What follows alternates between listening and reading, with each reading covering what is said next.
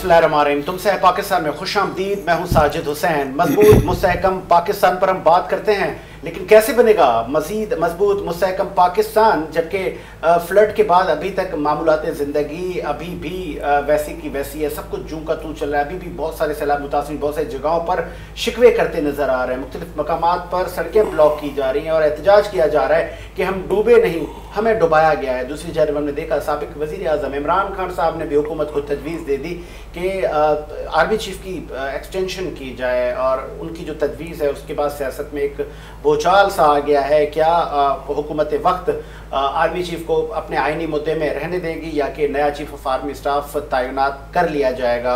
इमरान खान साहब की तजवीज़ पर अमल किया जाएगा? अलबत् हम देखें तो चीफ ऑफ़ आर्मी स्टाफ जनाब कंवर जात बाजवा साहब कह चुके हैं कि मैं एक्सटेंशन नहीं लूँगा। इस बात करेंगे, क्या ये सही टाइम था?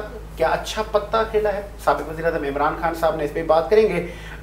स्टूडियो मेरे साथ मौजूद हैं, आप सीनियर जर्नलिस्ट हैं के द्वारा आपने मुल्की सियासत के देखे हैं, सैयद सज्जाद अली शाह। शाह साहब, आपका शुक्रिया, आपने टाइम दिया, उनके साथ मौजूद है, पाकिस्तान तहरीक इंसाफ से आपका ताल्लुक है। आ, कराची की मशहूर और मारूफ शख्स सलीम सचवानी साहब। सचवानी साहब आपका भी शुक्रिया। सचवानी साहब सबसे पहले आपसे बात करेंगे कि चीफ ऑफ़ आर्मी स्टाफ की तैनाती पे फिर एक आ, कहते हैं ना नया खान साहब ने पत्ता फेंका और उस पत्ते को अप्रिशिएट किया जा रहा है। क्या ये पॉसिबल है?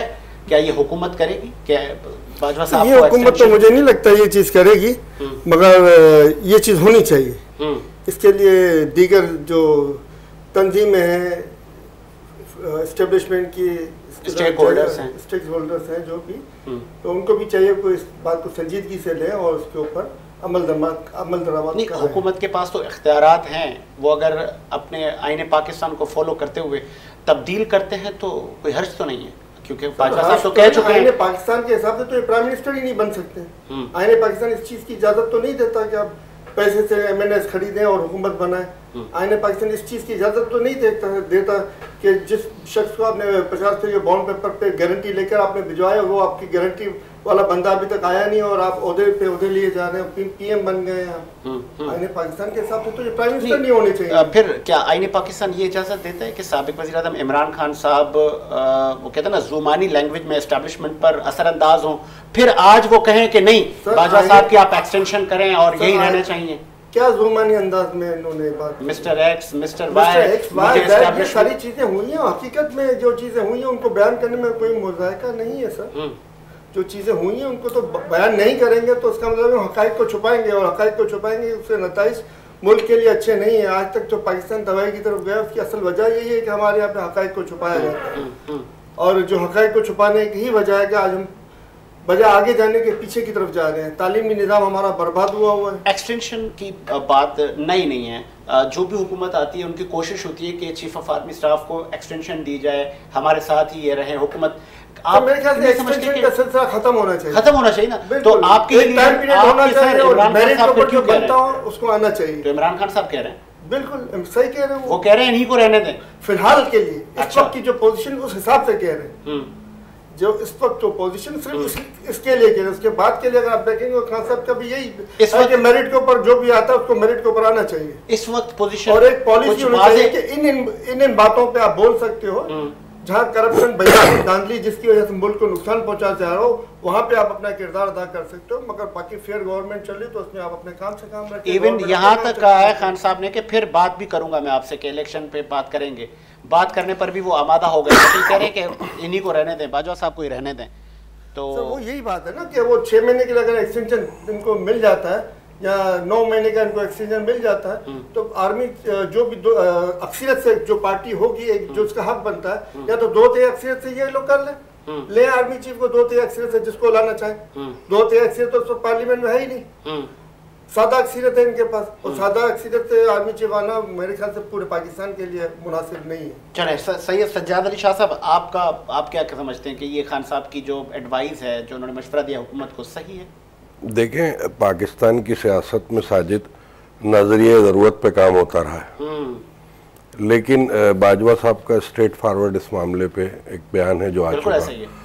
और मैं समझता हूँ कि एज आर्मी चीफ उन्होंने अपना फ़र्ज़ पूरा कर दिया और इसके अंदर अब कोई दो राय बाकी नहीं रही। हम्म, हम्म। कि इस पे जो है मजीद डिस्कस किया जाए उन्होंने एक फैसला कर दिया। बोल दिया कि मुझे एक्सटेंशन नहीं चाहिए। बोल दिया उन्होंने क्योंकि उसकी वजूहत होती है आर्मी के अपने रूल्स एंड डिसिप्लिन हैं।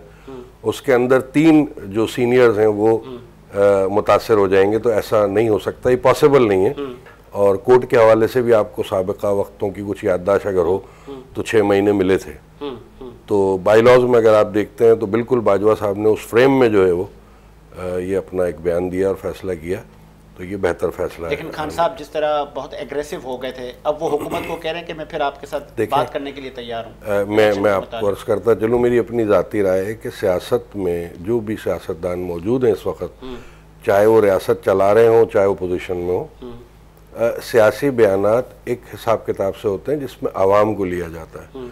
लेकिन जो मुल्क की जो भागदौड़ है उस हिसाब से अगर इमरान खान से भी वन टू वन बात की जाए तो वो बहुत फेवर करेंगे पाकिस्तान के और समझेंगे बात को हम्म, हम्म। सियासी बयान जलसे का बयान बिल्कुल डिफरेंट होता है हम्म। लेकिन जो बैठ के बात होती है जिसमें मुल्क की बका को देखा जाता है तो उसमें तमाम थॉट्स जो है वो मुल्क के फेवर में जा रही होती आपको याद होगा खान साहब ने कहा था कि मैं नहीं बैठूँगा और वजी अजम शहबाज शरीफ ने कहा था कि मैं ग्रैंड डायलॉग के लिए खान साहब आपको भी बुलाता हूँ। आप भी मेरे साथ बैठें। हम मीशत को दुरुस्त करने में आपका भी रोल है। आप आए हमारे साथ बैठ जाएँ लेकिन उन्होंने मना कर दिया। लेकिन आज वो बैठने को तैयार हैं। सियासत में कभी दरवाजे बंद नहीं होते साजिद। हम्म। और इमरान खान साहब जो हैं उन्होंने एक ज़ाहिर एक अरसा तक साढ़े तीन साल से ऊपर तकरीबन हम्म। हुकूमत को चलाया। हम्म।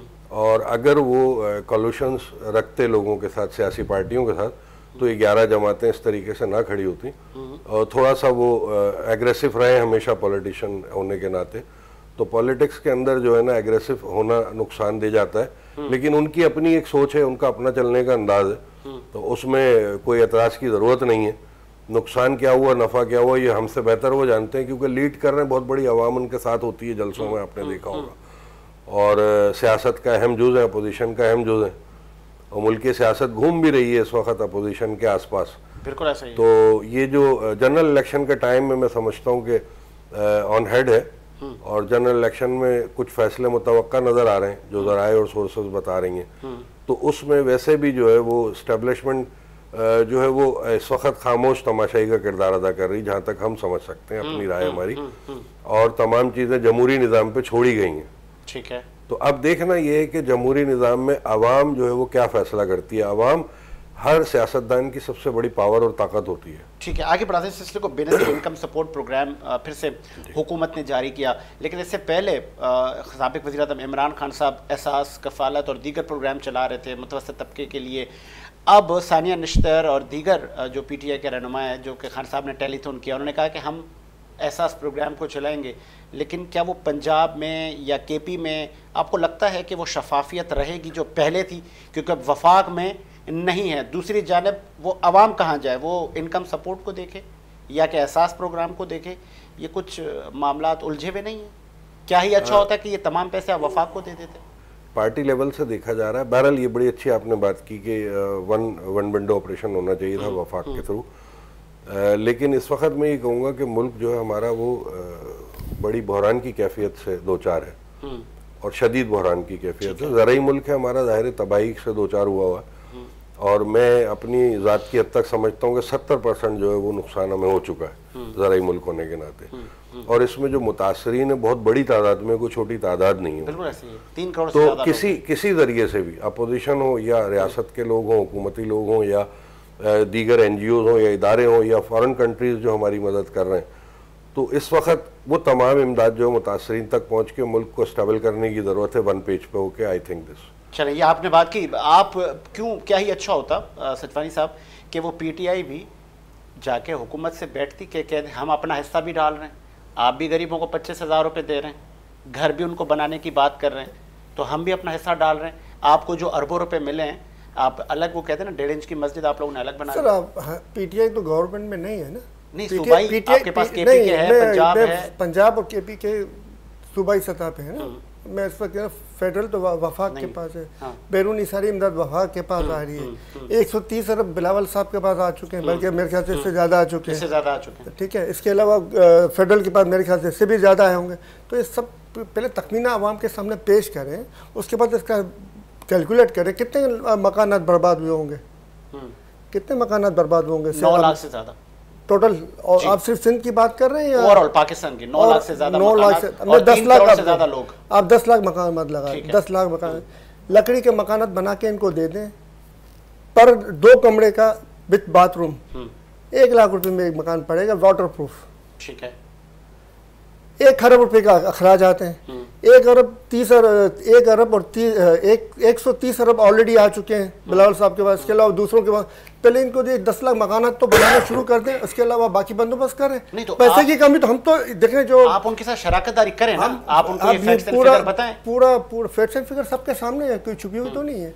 दस अरब की जो फैक्ट्स एंड फिगर है जो आई है पीटीआई के पास वो जो है वो बिल्कुल सेंट्रली डिस्ट्रीब्यूट होगी। आसानिया निश्चर के सिलसिले में जो है प्रोसेस बना रही है जिस तरह उन्होंने एहसास प्रोग्राम का बनाया था सेम तरीके से वो लोगों के अकाउंट में जाएँगे जितने आए और जितने जाएँगे उन सब का बाकायदा हिसाब कौम के सामने होगा। इस तरह नहीं होगा कि खाली आ गए और फिर बाद में तो क्या ही अच्छा होता। कि शाजिया मरी सानिया निश्तर और दीगर सूबाई और वफाकी लोग इस प्रोग्राम को बैठ के हतमी शक्ल देते प्लस और तरह माइनस एक साथ नहीं हो सकते ना। अच्छा। वो तो हम भी समझते हो ज़्यादा तफसील में नहीं जाता मैं के लिए सर इस वक्त हमें एक होके अवाम की खिदमत करनी है।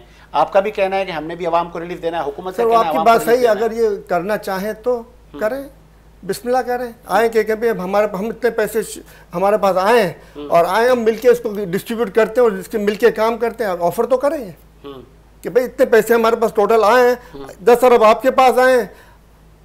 दो दस दस खरब हमारे पास आए आए मिला मिल के काम करते हैं। बिल्कुल तो ऑफ़र है। करें ना। एक कमेटी और तश्कील देते हैं उसमें एक आपका बंदा होता है एक हुकूमत का तो होता। वो करेंगे तो होगा ना। उसमें एक वही बात करूँगा कि यहाँ पे प्लस माइनस नहीं होगा सानिया- suppose अगर आपको invitation आता है, हुकूमत आपको बुलाती आप जाएँगे। सानिया निस्तर साहिबा ने और खान साहब ने जो इनको हिदायत की है वो बिल्कुल ट्रांसपेरेंसी के तहत इनको हिदायत की है कि कहीं पे भी गड़बड़ ना हो। अब यहाँ पे इनका पैसों का इस्तेमाल किस तरह होता है सैलाबों में ये आप भी जानते हो मैं भी जानता हूँ।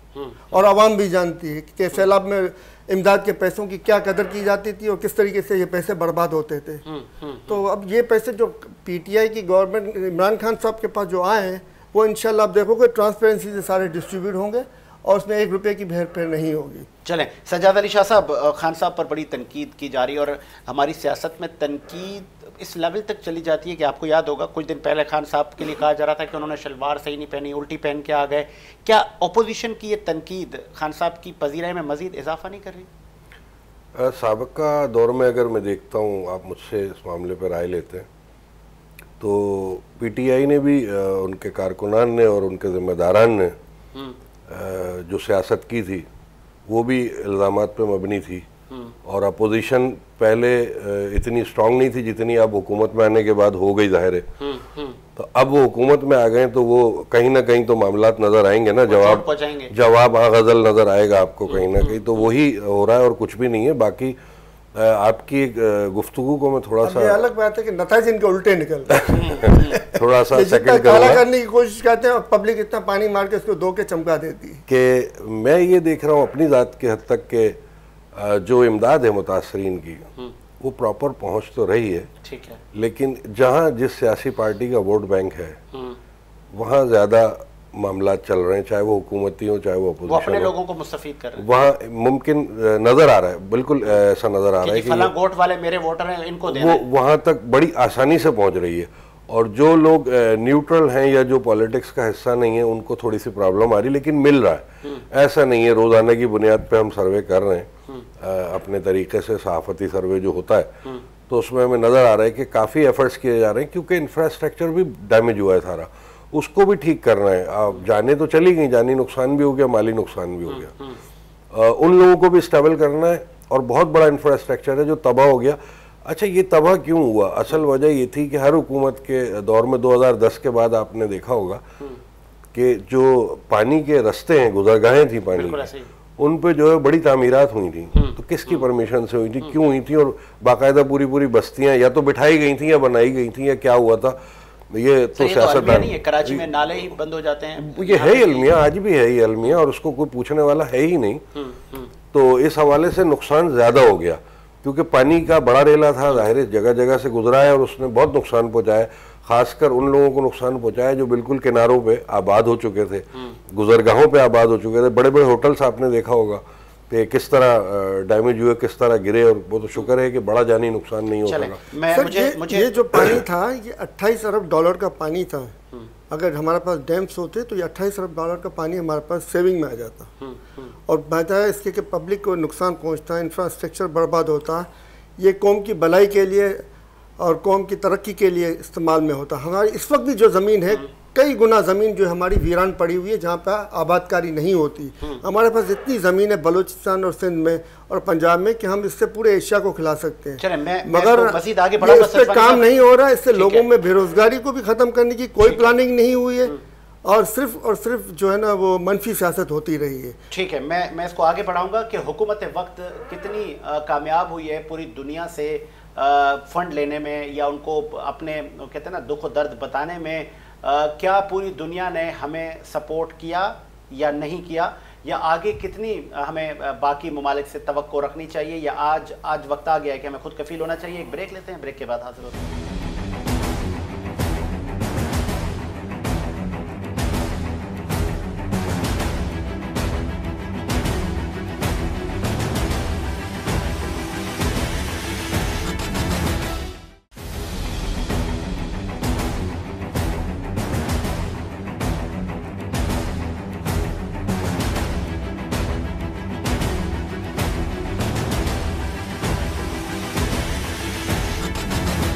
के बाद खुश आमदीद प्रोग्राम को मजीद आगे बढ़ाते हैं और इस वक्त मैं ज्वाइन किया रहनुमा पाकिस्तान पीपल्स पार्टी नईम अवान साहब। अवान साहब, आपको खुश आमदीद कहेंगे शो में। सबसे पहले मैं चाहूँगा अब चूँकि आपने सेकंड ब्रेक में ज्वाइन किया है सिंध हुकूमत की खबरें आपने देखी होंगी कि आप लोगों ने खैमे टेंट बेचना भी आपके लोगों ने शुरू की है और पता ये लगा कि वो भी हुकूमती नुमाइंदे हैं। जब किसी डी सी ए सी के पास, मुख्तार कार के पास एम पी ए के पास उन सैलाब मुतासरीन के लिए फ़ंड जाता है, खैमे जाते हैं, अशिया खुर्दनोश जाती है वो तक इधर उधर हो जाती है।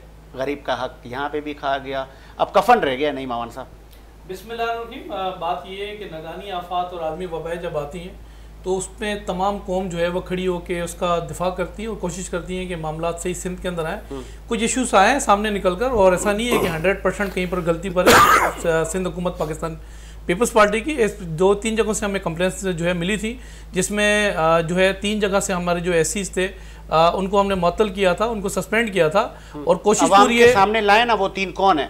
वो जल्लाद कौन है कि जो खा गए गरीब का माल? देखें उसमें कंप्लेंट्स ये थी कि जो एसीज हैं वो फैसिलेट नहीं कर रहे और वो पूरे तरीके से जो है आवाम को हर तरीके से वो कोशिश ये थी कि जो हमारा पार्टी पार्टी का जो स्टांस था बिलावल साहब ये कहते थे कि घरों तक पहुँचें और कोशिश करें कि किसी तरीके से उनको हर तरीके से वसायल दें। लेकिन बात ये है कि इस वक्त जो मौजूदा सूरत हाल थी और शुरू के अंदर जो रही जो हालात थे वो हालात ये थे कि किसी तरीके से जानी नुकसान को हम सिक्योर कर डूबे नहीं है हमें डुबाया गया है। ये आहो पका है हर तरफ़ के अमीरों और सरदारों वडेरों के घर बच गए उनके गाँव बच गए जो लावारिस थे गरीब और गुरबा थे या जो हमारे वोटर नहीं थे डुबा दो इनको जाने दो। देखें अब होता ही है कि सिंध के अंदर जो हमने दो तीन चीज़ें एक साथ फेस की हैं खासतौर पे दो साल पहले हमने आपने देखा टडी दल आया। टडी दल के अंदर भी हमारे जो हारी थे किसान थे वो बड़े अफेक्टेड हुए और उसके बाद अभी हम उससे निकले नहीं थे उस पर अरबों रुपये का नुकसान हुआ। अब ये नगानी आफात आई इस नगानी आफात के अंदर लाजमी सी बात है बहुत सारी जगहों से हमें जो है वो चीज़ें आ रही हैं लेकिन मैंने कहा ना कि हमें सबसे पहले हमारा फोकस ये था कि जानी जो नुकसान हो रहा है हम उसको किसी तरीके से सिक्योर करें। फिर आ जाए लोगों के जो नुकसान हुआ है जो हारी की जो फ़सलें गई हैं जो किसान के साथ जो कुछ हुआ है जो लोगों के जानवर को जो नुकसान हुआ है जो उनके घरों को जो नुकसान हुआ है अब उसकी उसकी तरफ़ ही हम लोग आएँगे। तखमीना लगाया है? पर पर्सन कितने पैसे आप उनको देंगे और कब घर बना के देंगे? सलीम साहब कह रहे हैं कि हम बता देते हैं, अगर आपसे मशवरत तो करें। सानिया निश्तर और पीटीआई के लोग भी तो अब पैसा दे रहे हैं लोगों को के पी के में, पंजाब में। तो क्या ये अच्छा हो कि मिलके आप फलाह करें आवाम की? देखें होता ये है कि आप अमली काम भी करें। सिर्फ़ बात ये कि टेलीविज़न पर बैठ के आप जो है वो, आप गुफ्तु करें और स्पीच करें और जैसा पाकिस्तान जो देकर गए थे लंगड़ा लूला और यहाँ जो पाकिस्तान हमारे हवाले जो करके गए थे उसके बाद जो मेशत का बेड़ा गर्क पहले था। आपके हवाले जो- था उसमें पेट्रोल भी बहुत सस्ता मिल रहा था। सर बात ये कि जो पेट्रोल जो पाकिस्तान हमने जो, पाकिस्तान हमने इनको दिया था। नहीं है। आपको पता था कि मुश्किलों में घिरा पाकिस्तान है तहरीक कदम आप क्यों लाए? सर जो पाकिस्तान हमने इनको दिया था उस वक्त अगर पेट्रोल की अगर मैं बताऊँ तो 116 रुपए का पेट्रोल लीटर मिल जाता। जो पाकिस्तान ये हमें देके गए थे तो वो पाकिस्तान एक सौ पचासी। आपको बताऊँ बात ये कि ओगरा नेपरा पेमरा साथ में आपके ना इस वक्त जो जजेस हैं, जो जजेस इनके हक में जो है वो फैसला दें तो वो जजेस भी अच्छे- ना मुसल्ला अफवाज ना तो यहाँ पर जो है वो हुकूमती जो हुकूमत इस वक्त जो बैठी हुई है इनको कुछ भी अच्छा नहीं लग रहा। और बात ये कि टेलीविज़न पे बैठ के तो अच्छा क्या है? आप बता दें अच्छा क्या है अभी? सर अच्छा तो वो है जो अच्छा दिखे जो अच्छा दिख, जो दिखाया हुकूमत ने ऐसा अच्छे से कारनामा किया कि हम कहें देखिए, अगर वाले सही नहीं थे? अगर बात ये साजिद अगर एक हल्के के अंदर अगर एक डिस्ट्रिक्ट के अंदर अगर सत्ताईस सत्ताईस जो है वो डिस्ट्रिक्ट अफेक्टेड है अगर एक डिस्ट्रिक्ट के अंदर कहीं अगर कोई प्रॉब्लम हो रही है तो बाकी जो 26 डिस्ट्रिक्ट है वहाँ भी आप अप्रिशिएट करें कि सिंध हुकूमत काम कर रही है।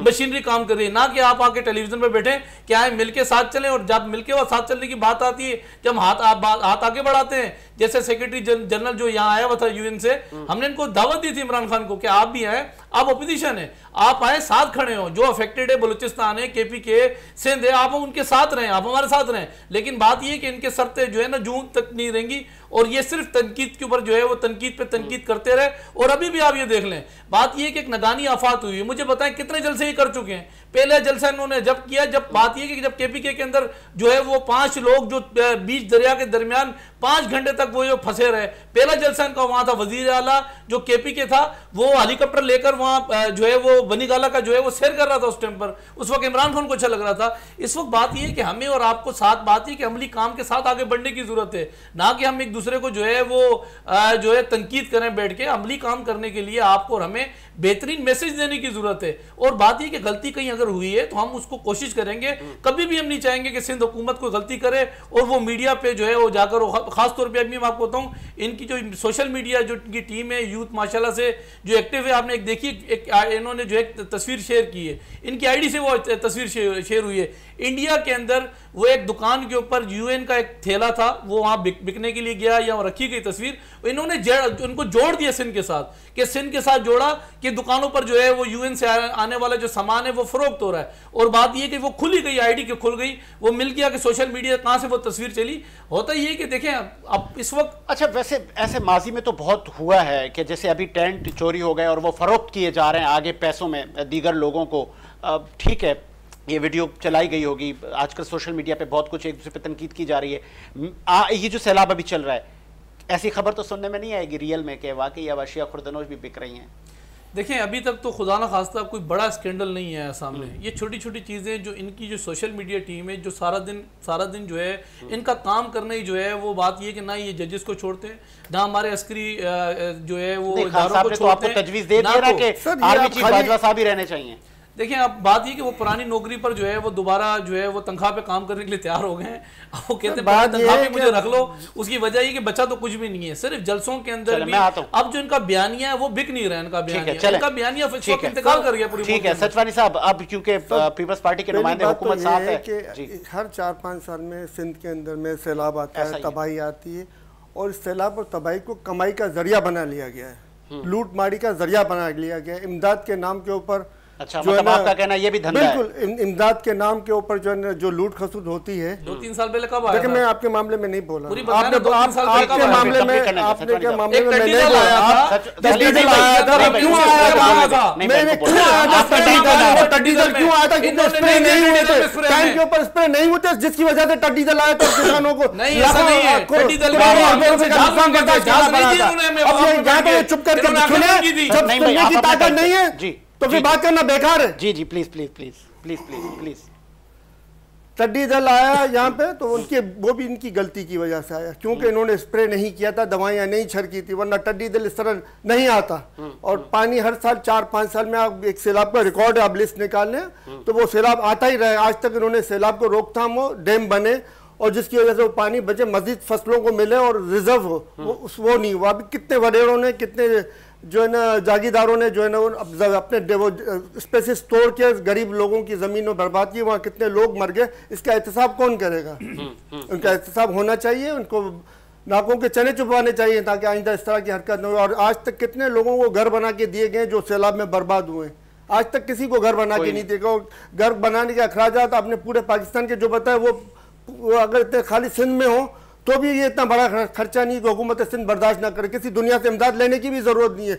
अपने तौर पर भी वो ये खर्चा कर सकती है। एक खरब कोई बड़ी रकम नहीं है जिससे वो दस लाख लोगों को घर बना के दो कमरों का विद अटैच बात बना के दे सके वाटर हम्म। प्रूफ में। हम्म, हम्म। और अगर थोड़ी सी और गुंजाइश करें तो उसको इस तरह का बनाए कि अगर सैलाब के लिए डैम ना बने तो वो कश्ती की तरह तैरने भी लग जाए जब ज़रूरत पड़े इसके अंदर विल की ज़रूरत है सब हो सकता है। जी सब कुछ हो सकता है अगर पब्लिक के लिए सोचा जाए तो। वरना अगर न सोचा जाए तो, तो ये जितनी भी आप जो आप एडवाइस दे रहे हैं ये केपीके में बना के देंगे आप घर?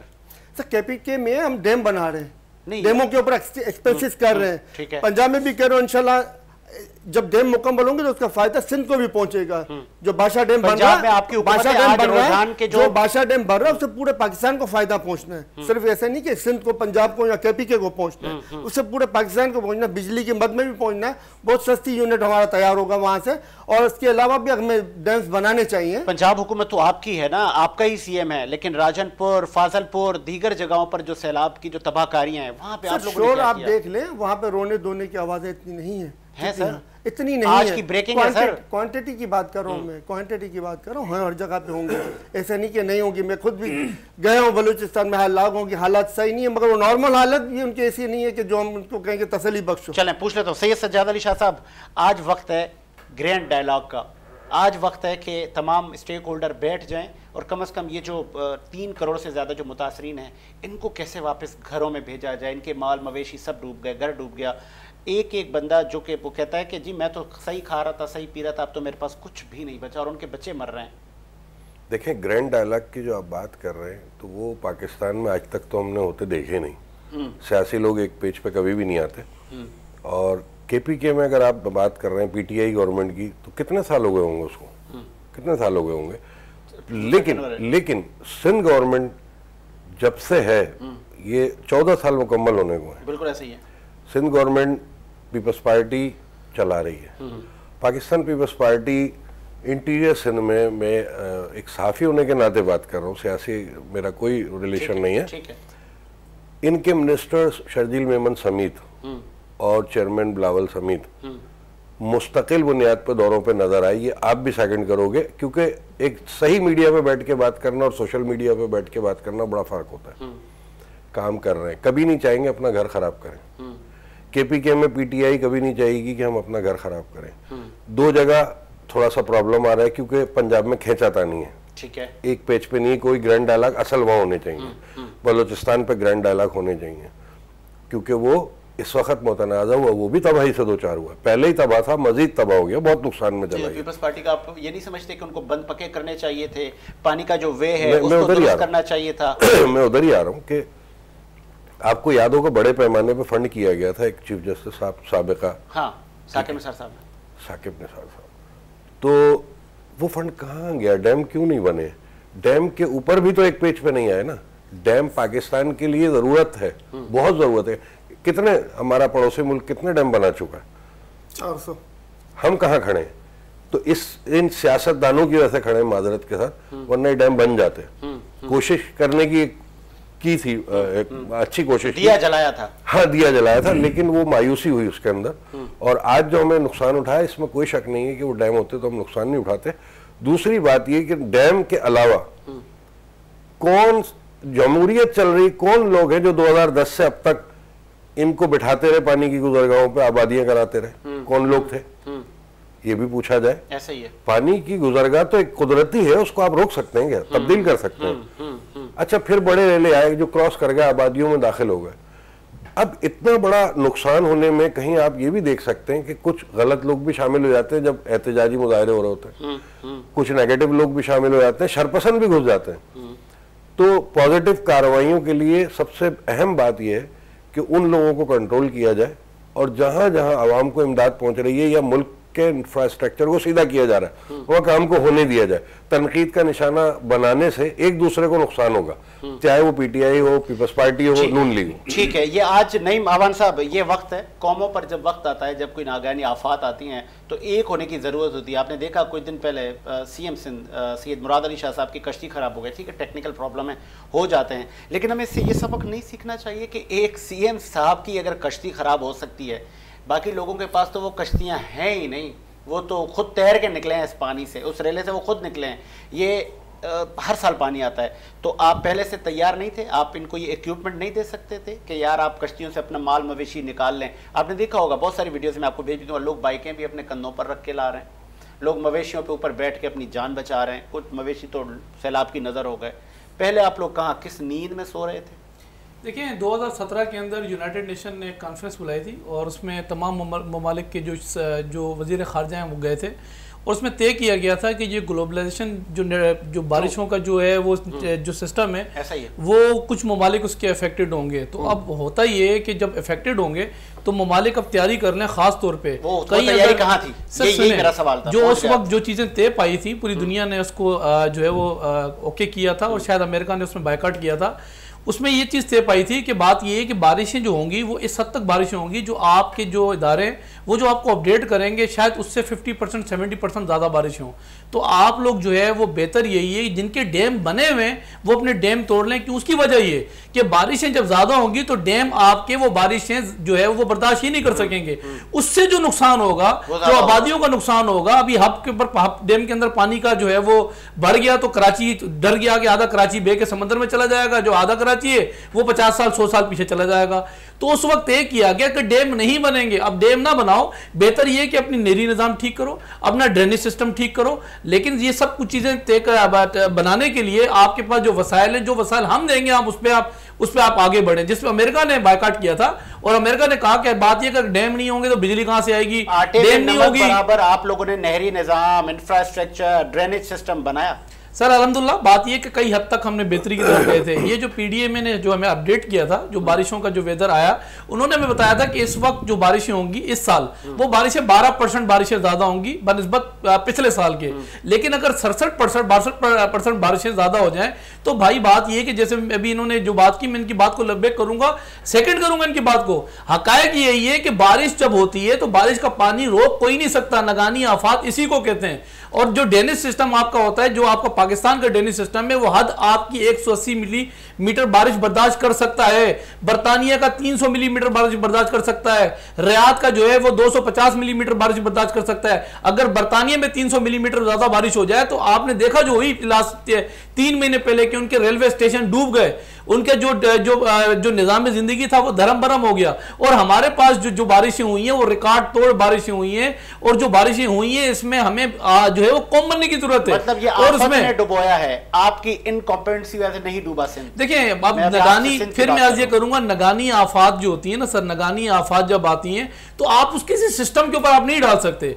अब दो दिन पहले जो बारिशें केपीके के अंदर आपने देखा कि वह अयुक्त मेडिकल सेंटर जो था एबटाबाद के अंदर वहाँ गोडा गोडा पानी था और रोड जो है वो तलदल हो दल हो गए थे। तो वो क्या ज़िम्मेदारी क्या सिंध हुकूमत की थी वो ज़िम्मेदारी भी? फिर दूसरी बात ये रही कि केपीके के अंदर जो सूरत हाल है, नौ साल से साढ़े नौ साल से इनकी हुकूमत है। साढ़े नौ साल के अंदर कितने डैम इन्होंने कंप्लीट किए? मुझे भाई थोड़ा सा जवाब दे देना। कितने डैम वहाँ कंप्लीट कर चुके जो इन्होंने कंप्लीट किए थे? फिर दूसरा ये कि इनके पास पाकिस्तान के अंदर इस तीन सूबों के अंदर अक्सरियत थी। सुबह सिंध वालों ने अगर इनको नहीं आने दिया तो नुकसान क्या उठाया सुबह सिंध वालों ने? या एक सौ बासठ का ऐलान किया, फिर ग्यारह सौ का ऐलान किया, और अक्सरियत थी इनके यहाँ सिंध के अंदर कराची के अंदर अक्सरियत इनके पास जो है वो मौजूद थी। कराची ने नवे साल बारिशों का रिकॉर्ड तोड़ जो बारिशें दो साल डेढ़ साल पहले हुई। ये कराची के अंदर जो कश्तियाँ चलाने वाला प्रेसिडेंट ऑफ़ पाकिस्तान आरिफ इलवी साहब थे जो कश्तियाँ चला चला के दिखाते थे। किधर चले गए थे आरिफ इलवी साहब? और अभी भी आप देख लें अगर कोई नज़र आ रहा है इंटीरियर सिंध के अंदर और कराची के अंदर बारिशों के अंदर तो सीएम साहब का तमाम मामला हमारे एम पी हमारे जो है वो मुशीर या हमारे जो एडवाइजर है तमाम जो लोग हैं जो इस वक्त मशीनरी है वो एक्टिव है। लेकिन ये लोग सिर्फ़ हंसने के ऊपर है सिर्फ़ ये मुस्कुराने के ऊपर है सिर्फ़ तनकीद करने के अंदर है। कहाँ खड़े हुए मुझे बताएँ? वो कहाँ पाँच सौ अरब रुपए जो उनके पास जो इकट्ठा हुआ था? और सिर्फ़ जो है ना फ़ोटो सेशन की हद तक ये होता है। आवाम को रिलीफ नहीं मिल रहा है सिंध के अंदर। ठीक है? केपीके की बात कर रहे हैं या पीटीआई की गवर्नमेंट की बात करें तो 10 डेमो के ऊपर पीटीआई की गवर्नमेंट ने 70 साल के बाद काम शुरू करवाया दुनिया तोड़ेगी और डैम बनाएँगे। और दुनिया तोड़ेगी नहीं। आज भी हमें मजीद डेमो की ज़रूरत है। क्योंकि आप जाए देखिए बलूचिस्तान में क्या हालत है अब सिंध के अंदर देख ले क्या हालत है। पानी नहीं होता दो साल के बाद के फ़सलों को मिले। और बात करें कि डैम की ज़रूरत नहीं है। कहक कहक होता है। सिंध के सिंध के दरिया सिंध खुशक पड़ा होता है हमारे पास पानी नहीं होता हमारे पास। और ये कहते हैं डैम की ज़रूरत है। यूएनओ या कोई भी उल्टी सीधी बात करेगा तो हम उनकी मान लेंगे हम अपने मफाद को नहीं देखेंगे। हम अपनी बिजली नहीं बनाएँगे अमेरिका बैकआउट इसलिए नहीं किया था कि जो है ना उसको डैम बनाने के ऊपर एतराज़ था। उसके और दीगर वजूहत थी जिसमें ये मुल्क शमूलियत करेगा और ये मुल्क शमूलियत नहीं करेगा। ठीक है। जिसकी रोकथाम के लिए जो है ना उन्होंने ये चलें। ठीक है बहुत सारे आ, लोगों ने आ, आ, हमारे वेल विशर्स ने हमारे फैंस ने रिक्वेस्ट की थी। हम उनकी रिक्वेस्ट को पूरा कर देते हैं प्रोग्राम के एंड में। आ, कुछ दिन पहले आ, पाकिस्तान और अफ़गानिस्तान का मैच हुआ। उसके बाद हमने देखा कि कराची की मुख्तलिफ़ शराहों पर अफगान पनाह गुजीरों ने एहतजाज किया रैलियाँ निकाली और बहुत सारे मकामी लोगों को थ्रेट किया उनको मारा पीटा। हुकूमत वक्त क्या कर रही है? इस पर मैं अपने तीनों मेहमानों से बात करूँगा। सबसे पहले नई मावान साहब चूँकि सिंध में आप हैं अफ़गानिस्तान के परचम लहराना पाकिस्तान में क्या दुरुस्त है? बिल्कुल गलत है और ये क्यों लहराए जा रहे हैं। क्यों नहीं आप उनको पकड़ रहे क्यों नहीं अरेस्ट कर रहे? क्यों नहीं उनको आप मुल्क बदर कर रहे? हैं देखिए उनके अपना परचम इस वक्त डिस्प्यूटेड है अफ़गानिस्तान के अंदर। अफ़गानिस्तान के अंदर इस वक्त दो परचम है। एक वो जो तालिबान हुकूमत है उनका अगर आप परचम देखें इनके परचम को गाड़ियों से उतार उतार के इनकी छतरोल हुई है वहाँ। और जो परचम ये गले से लगा के इस पाकिस्तान के अंदर घूम रहे हैं ठीक है हर परचम हर जो है इंसान को पसंद है। अब लाजमी सी बात है प्राउड होता है परचम। लेकिन वो अगवानी जो गैर जो है वो मुकामी है या जिनके पास नेशनलिटी नहीं है और वो हंसे हैं। हमारी हमारी हार के ऊपर हम लोग यहाँ पे बर्दाश्त कर रहे हैं। और आप क्यों रख के बैठे हुए? सर बात यह कि परवेज मुशरफ के दौर में ना पाकिस्तान वो मुल्क था पूरी दुनिया के अंदर और अभी तक हम उसी का वज़न बर्दाश्त कर रहे हैं। पाकिस्तान वायद मुल्क है पूरी दुनिया में दुनिया में सबसे ज़्यादा रिफ्यूजीज पाकिस्तान के अंदर मौजूद है। दुनिया में सर रिकॉर्ड पर है। पंद्रह लाख पहले थी फिर पच्चीस लाख तादाद हुई तीस लाख तादाद हुई। ये जो इफ़ेक्टिव आपकी हुकूमत क्या करेगी? सर अल्लाह का शुक्र है कल से तो बड़ा क्रैकडाउन स्टार्ट हुआ है। और आप देख ही रहे हैं जो तनकीद हम पे की जा रही थी हालाँकि जश्न वो केपीके के अंदर पेशावर मनाया गया। उसको जोड़ दिया गया सिंध के साथ के कराची के अंदर वो जश्न मनाया गया। पाकिस्तान की फाइनल की हार के अंदर वो भी सिंध हुकूमत का जोड़ दिया गया। तो कहने का मतलब ये है कि जो हुआ गलत हुआ हमने क्रैकडाउन स्टार्ट किया है। और कल से अलहमदुल्ला बात यह है कि जहाँ जहाँ इनकी बस्तियाँ हैं जो लोग गैर जो है जिनके पास आइडेंटिफिकेशन नहीं है जिनके पास आई कार्ड नहीं है उनको वापस जो फॉरन एक्ट के जो मुकदमा दर्ज होते हैं वो मुकदमा जो है दर्ज भी हुए हैं और इंशाल्लाह आप देखेंगे कि यहाँ से तो हम सफ़ाई करेंगे इनकी। ठीक है जी सलीम सतफनी साहब क्या मकामी लोगों को भी ये नहीं है कि वो मारपीट करें सड़कों पर निकल के और मारपीट भी हुई पाकिस्तान को बड़ा बुला कहा गया वीडियो मैसेजेस चलाए जा रहे हैं उन लोगों की तरफ़ से जो कि पनाह गुजीन है यहाँ पे पनाह लेने आए थे टेम्परेरी। ये पनाह गुजीन जो है हमारे लिए सबसे बड़ा खतरा है। हम्म। अगर वो पुराने अफ़गानिस्तान के पंचर बुलंद करते तो उसका मतलब वो इंडिया और जो है ना अमरीकी लॉबी के सर कह भी कहते हुए नज़र आ रहे हैं। वो इंडिया और अमेरिकन लॉबी की सरपरस्ती में है। हम्म, हम्म। तो इस तरह की गैर मुल्क सरपरस्तियों में रहने वाले लोग उनको मुल्क बदर करना चाहिए वो चाहे सिंध में हो या किसी और सूबे में। और क्योंकि सिंध में ये ज़्यादा है तो लिहाजा यहाँ पे काम करने की ज़्यादा ज़रूरत है। और सिर्फ़ मुकदमा दर्ज करने के बाद जमानतों पे छूट भी जाते हैं। बाहर। बिल्कुल। इमरान खान ने तो हाथ में लाया था तालिबानों के साथ। बात ये कि सामा बिन को शहीद किया शहीद बोल दिया था। सर। तो ये तो क्यों आया है। नुकसान नहीं पहुँचाया। अमेरिका के बिचारे अफगानियों ने सर इन्हीं नुकसान पहुँचाया है सब है। तालिबान ने नुकसान नहीं पहुँचाया। नहीं बुला बुला के बैठे सारे अमेरिका के बिठाए हुए तेरी के तालिबान पाकिस्तान ने नुकसान पहुँचाया है आपको। आगे आपका मैसेज आ गया जी सच आप क्या कहेंगे? शाह साहब। वो करूँगा क्योंकि एक मामला है ये और इसके अंदर मुल्क की सालमियत का भी सवाल है। और मुल्की बका का सवाल है तो ये शर्जिल मेमन साहब ने जो है वो आई जी सिंध से गुफ्तु की इस सिलसिले में कल फौरी एक्शन हुआ है और फोर्टी वन अरेस्ट हुए हैं आज। और ऑपरेशन जारी है इस सिलसिले में मजीद भी ऑपरेशन होगा। और हम देख रहे हैं गिरफ्तारियाँ हो रही हैं तो ये सख्ती की जाएगी तो गिरफ्तारियाँ हो डिपेंड ऑन कोर्ट सॉरी अदलिया पर डिपेंड करता है कि वो क्या फैसला करती है। फॉरन एक्ट के तहत मुकदमा दर्ज हो गया ठीक है। चले जी, इसी उम्मीद के साथ कि मेरा मुल्क शादो आबाद रहे। मुझे साजिद हुसैन को इजाज़त दीजिए। मुलाकात होगी नए प्रोग्राम के साथ। अल्लाह